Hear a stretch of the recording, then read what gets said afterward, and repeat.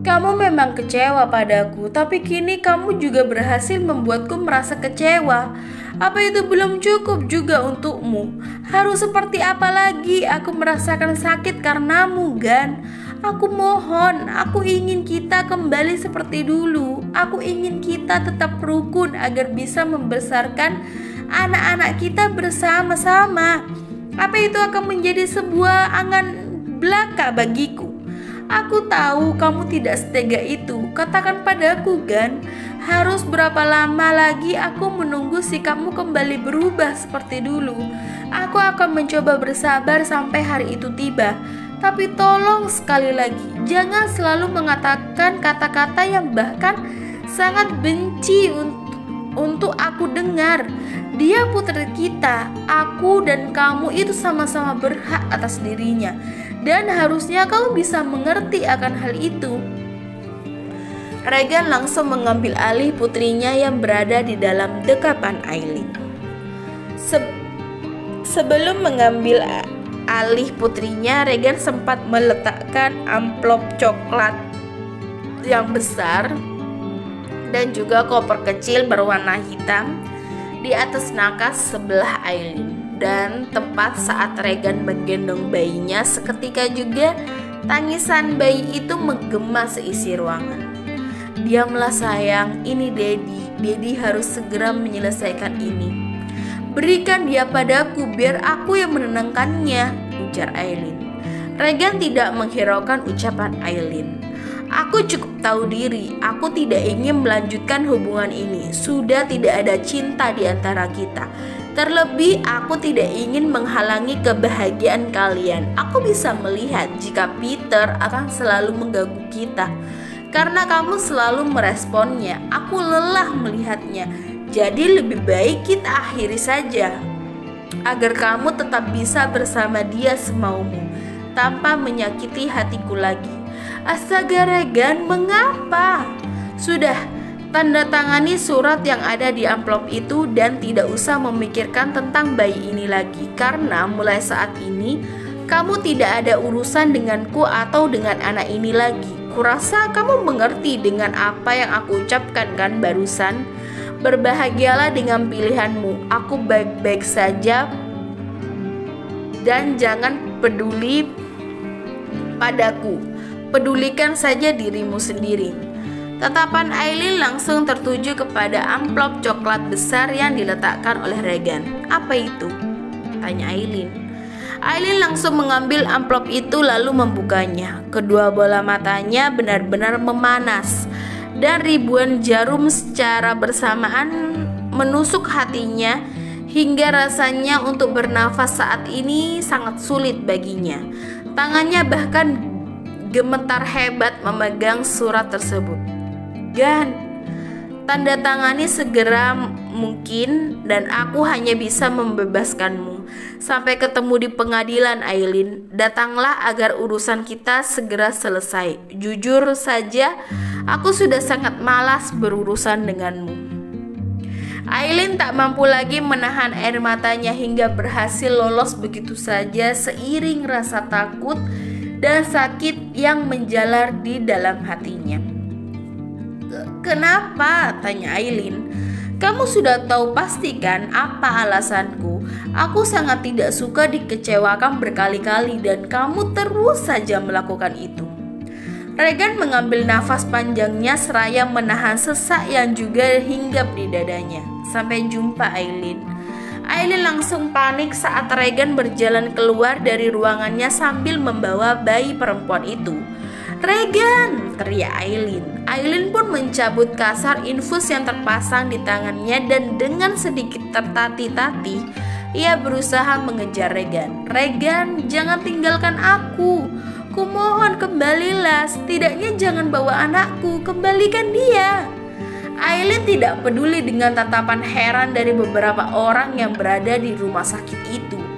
Tidak ada yang berhasil mengenali Regan sepertinya karena Penampilan yang dipakai oleh Regan benar-benar berbeda dan tidak menunjukkan jika dia adalah seorang Regan Bagaskara.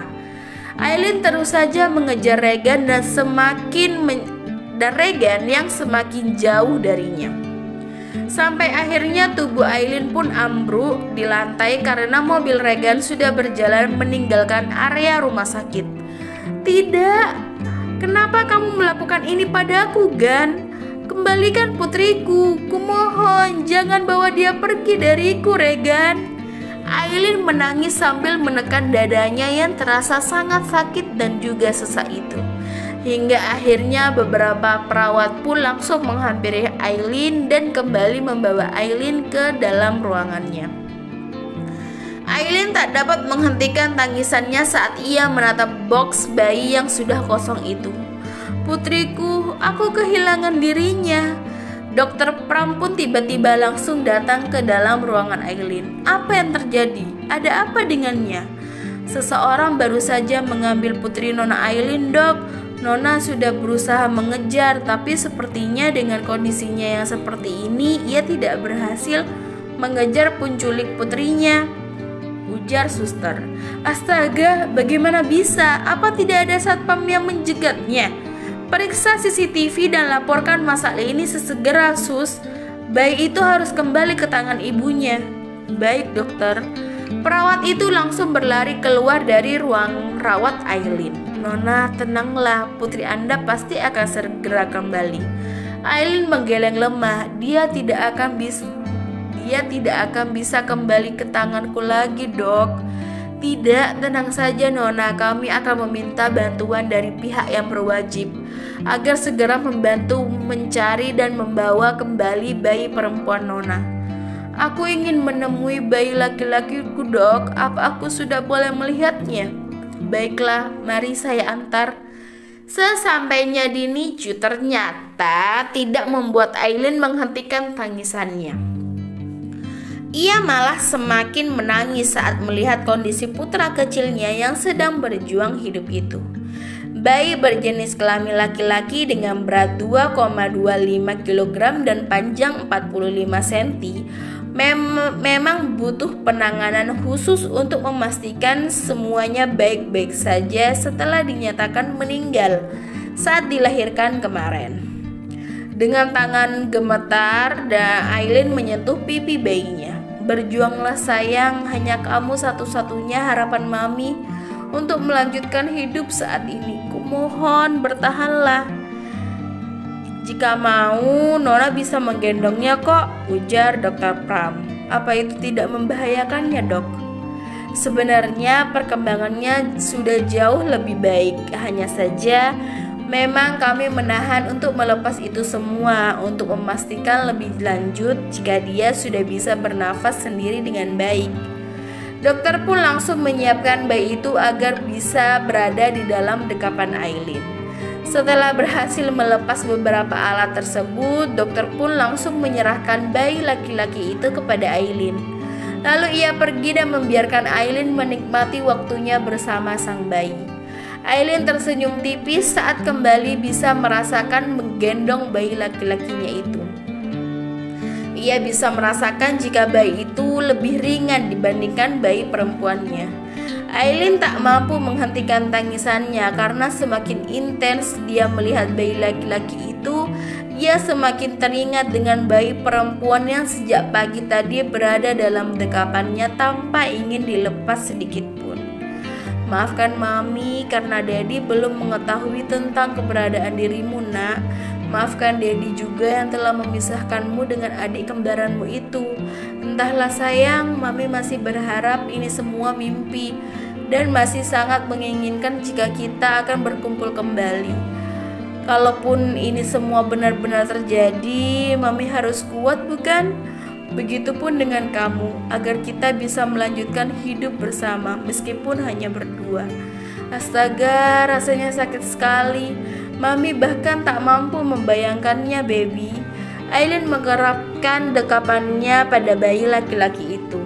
Namun ia tersentak kaget saat bayi itu berusaha mencari sesuatu dan Aileen tersenyum simpul saat melihat bayi laki-lakinya pertama kali menyusu dengannya. Air matanya terus saja berjatuhan. Aileen pun senantiasa membelai sayang wajah bayi itu. Sementara di sisi lain, bayi perempuan itu terus saja menangis dalam gendongan Regan. Regan sudah berusaha berusaha menenangkannya, tapi ternyata ia tidak mampu membuat bayi itu tenang. Bos, bayi itu terus menangis. Mungkin dia haus, bos. Apa kita perlu balik ke rumah sakit agar Nona Aileen bisa menyusuinya? Ujar Tejo. Tidak perlu berhenti memanggil dia Nona, karena mulai sekarang dia bukan istriku lagi. Ja, jadi kalian benar-benar tidak usah banyak tanya, segera ke rumah sakit lain. Aku belum memastikan dengan baik apa bayi ini sudah bisa dibawa pulang atau tidak. Baik, bos. Tenanglah, baby. Daddy bersamamu. Regan mengusap kepala bayinya dan berharap jika bayi itu segera tenang di dalam dekapannya. Bersambung.